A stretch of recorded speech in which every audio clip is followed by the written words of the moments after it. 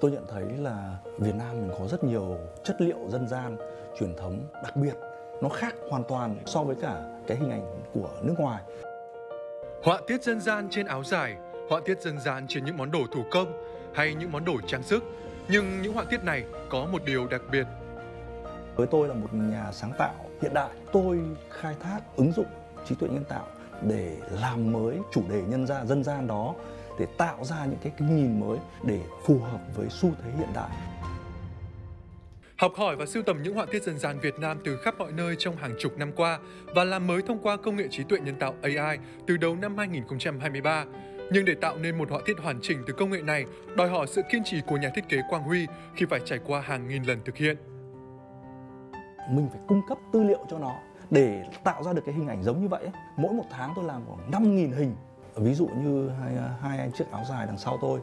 dựa trên cái mẫu ờ, tranh tứ bình tôi sẽ giữ lại tất cả những cái đường nét căn bản của cô gái thổi sáo để tôi tạo lại các cái background nền cũng như tạo lại các cái hình ảnh ở trên cái áo dài cô tố nữ đó và thiết kế ra cái uh, sản phẩm uh, như các bạn đã thấy. Không chỉ có những chiếc áo dài, những họa tiết dân gian được làm mới bởi AI còn xuất hiện trong cả những món đồ thủ công mỹ nghệ truyền thống mang tính ứng dụng cao, mang lại đời sống mới cho những sản phẩm thủ công của nhiều làng nghề tại Việt Nam. Tôi đã gắn bó với cái hàng mây che đan là khoảng 30 năm nay. Trong cái sản phẩm ngày xưa làm thì nó hàng nó thô nhưng bây giờ kết hợp được cái hoa văn họa tiết sản phẩm hàng mây che đan nó trông nó phong phú lên và cái này thì nó sẽ mang theo cả cái ý nghĩa văn hóa của Việt Nam mình. Bên cạnh việc làm mới và sáng tạo, với sự phát triển và ảnh hưởng ngày càng lớn của công nghệ AI trong đời sống, công việc này của anh Huy còn hướng tới một mục tiêu khác.